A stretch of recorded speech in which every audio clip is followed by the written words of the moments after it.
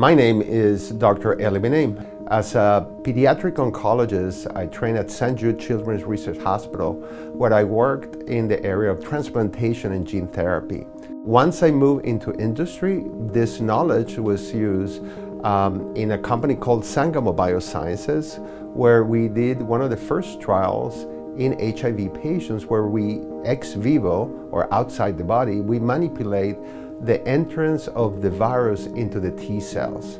HIV is a terrible disease, but fortunately we have been able to transform a very mortal or lethal disease into a chronic disease. So now people say, well, why do we need more therapies on, on HIV? People is, you know, living with HIV and taking, you know, medications for it. The truth is that it's very onerous in all these patients to take so much therapy. And in spite of the therapy, there are still patients that have accelerated uh, aging, that they will die from this disease.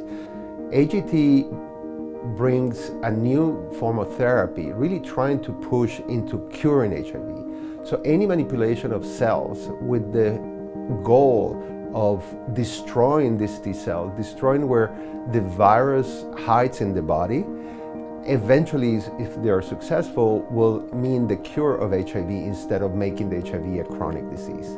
And for me, AGT has become one of these companies that resonates on personal, my personal level of looking for new technologies, new advances, and really try to push the line on therapies for terrible diseases like HIV.